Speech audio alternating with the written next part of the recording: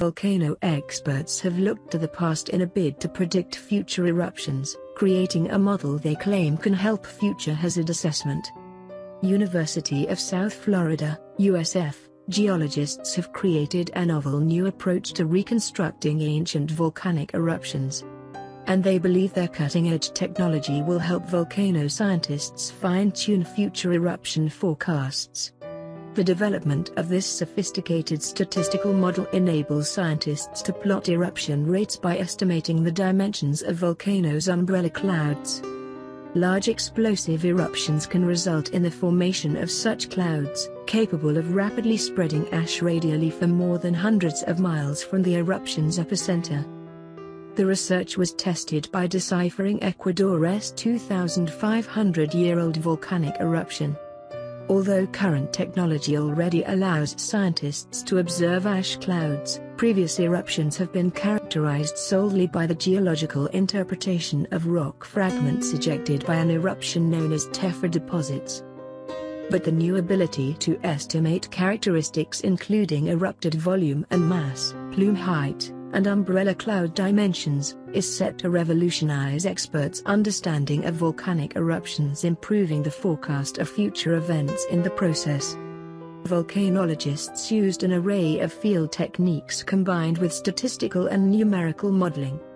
This garnered data from the deposits, allowing the characterization and classification of an eruption on one of the most commonly used scales, the Volcanic Explosivity Index, VEI. Robert Constantinescu, a USF doctoral candidate, revealed how until now, the most sought after information is the eruption column height and the total erupted mass or volume.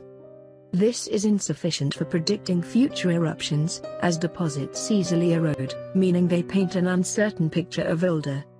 And another limitation is how older models assume all volcanic eruptions created mostly vertical plumes.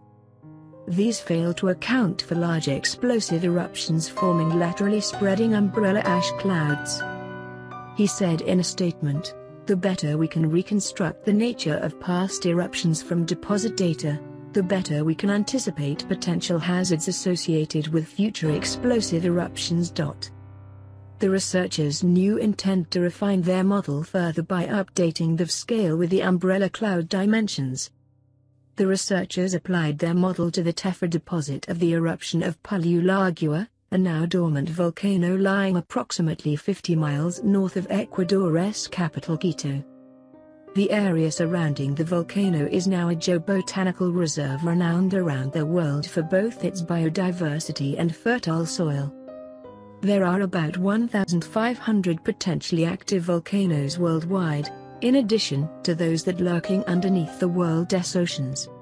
In 2020, there were at least 67 confirmed eruptions from 63 different volcanoes, only underlying the importance of predicting such explosions.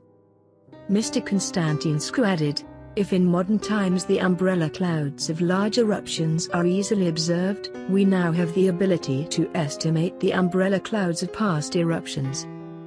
Our numerical model enables us to better characterize past volcanic eruptions and inform models for future hazard assessment.